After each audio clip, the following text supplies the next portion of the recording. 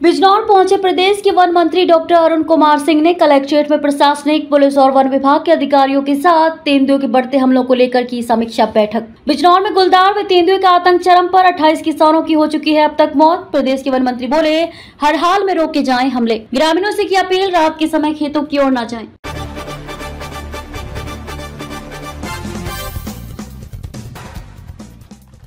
खबर यूपी के बिजनौर जनपद से, जहाँ बिजनौर में गुलदार व तेंदुओं के हमलों का मामला अब लखनऊ तक पहुँच गया है।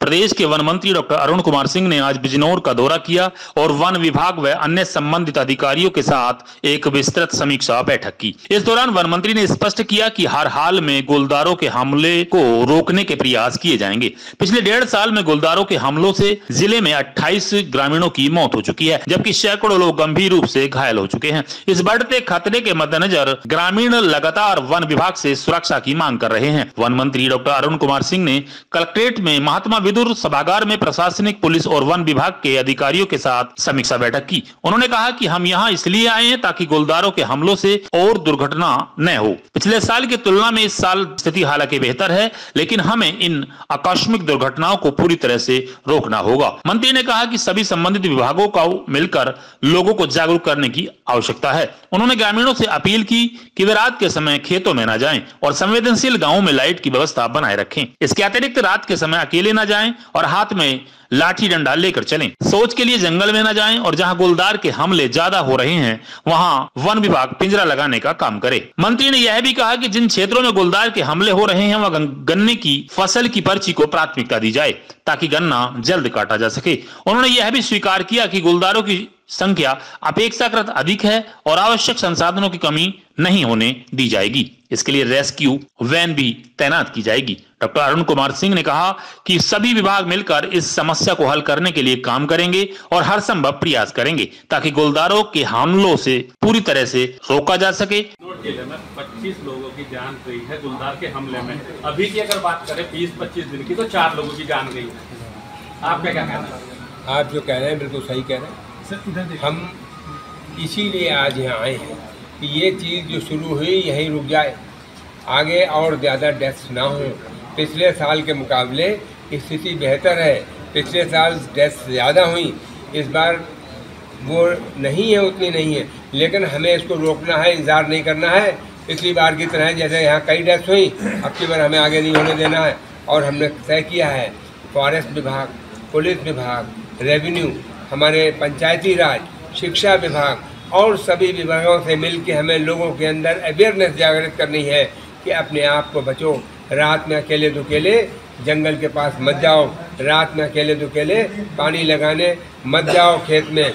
और लाइट के लिए हमने कहा है कि गाँवों में जो संवेदनशील है, जहाँ पे इस तरह के केसेस ज़्यादा हो रहे हैं, वहाँ पर लाइट रहे।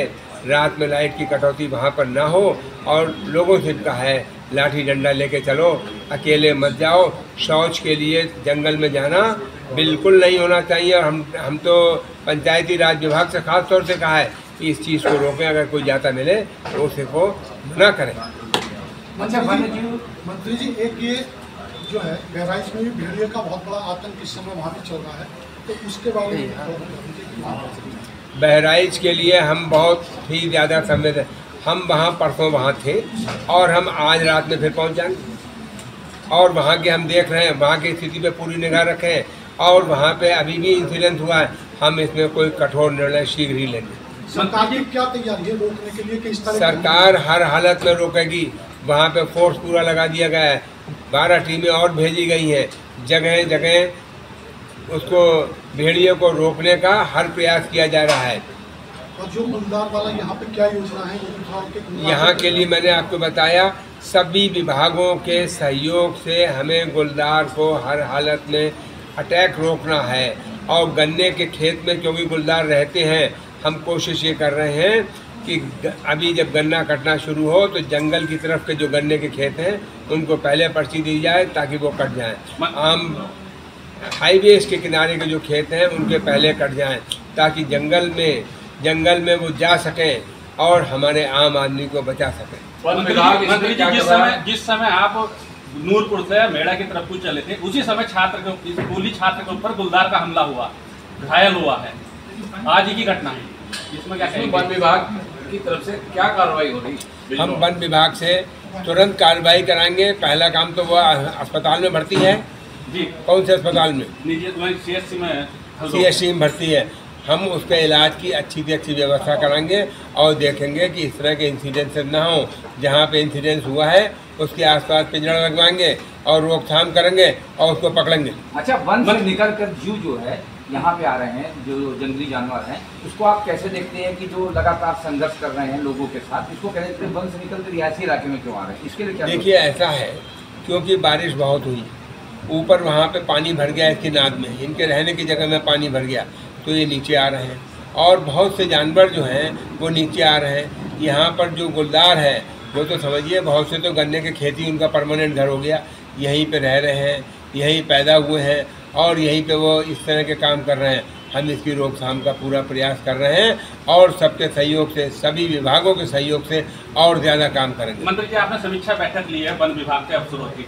बिजनौर ज़िले में कितने गुलदार हो सकते हैं आपके अनुसार? देखिए गुलदार का एक्चुअल नहीं है लेकिन गुलदार है बहुत ज़्यादा।